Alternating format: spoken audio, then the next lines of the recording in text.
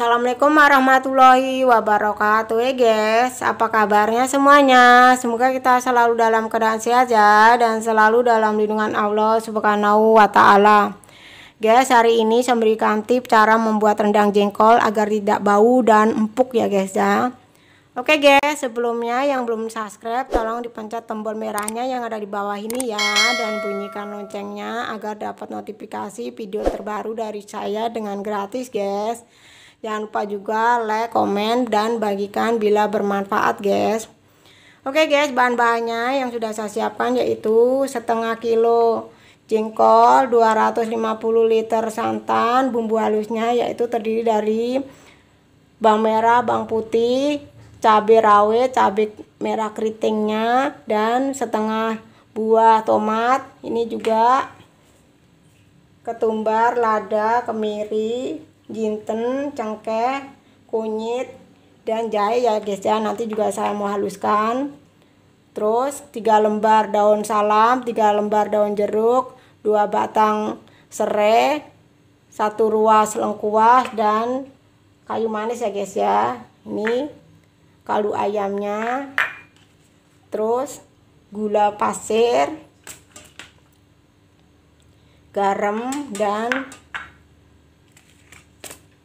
kira-kira 5 sendok makan beras ya guys ya. Oke ikutin proses selanjutnya ya guys ya.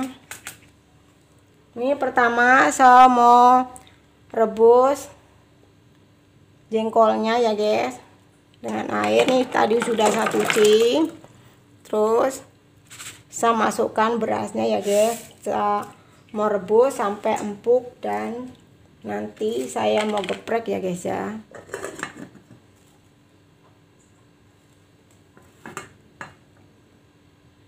Oke guys, proses selanjutnya setelah direbus nih empuk, saya mau geprek begini ya guys ya.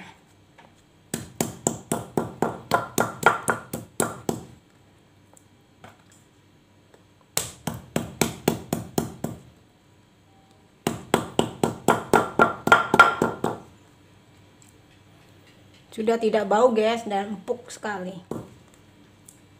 Kalau sudah direbus dan udah sudah empuk ini kita geprek pun dia lepas ya guys ya. Ini yang kulit hitamnya ini. Kulit nih dia lepas sendiri. Selanjutnya kita mau oseng ya guys. Bumbunya nanti baru kita masukkan semuanya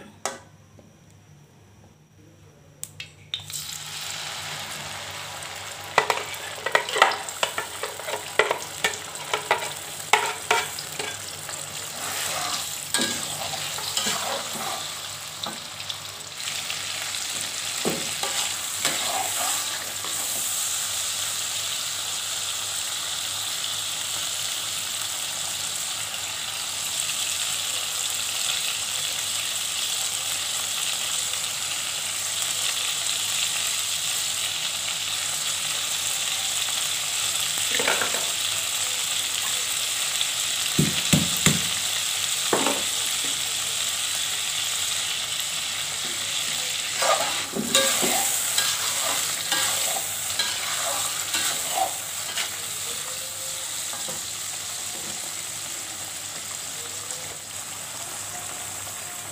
udah bersih dan segini ya guys. Sudah saya geprek nih.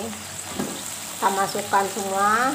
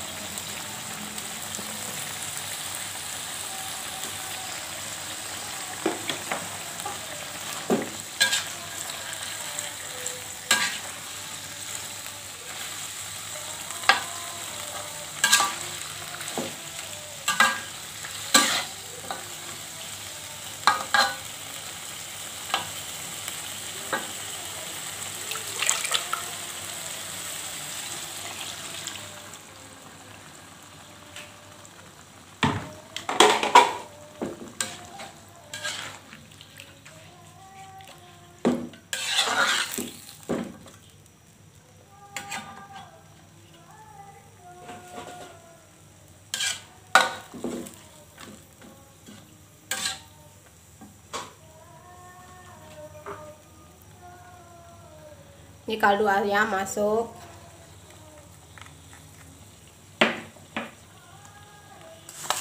Gula masuk.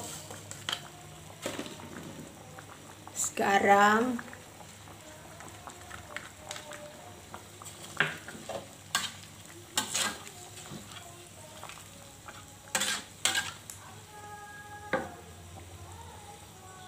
Oke guys, kira-kira bumbunya sudah meresap nih ya guys ya. Ini saya masukkan santannya guys.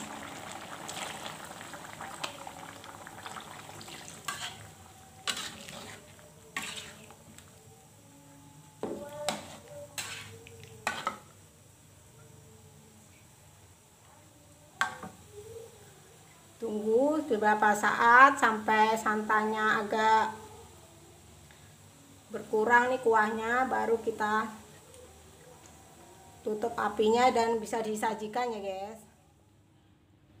Oke guys. Siap disajikan guys. Terima kasih ya yang telah mengikuti. Itulah tip dari saya tutorial cara membuat rendang jengkol biar empuk dan tidak bau ya guys ya Oke, terima kasih. Sampai ketemu di video saya selanjutnya. Assalamualaikum warahmatullahi wabarakatuh.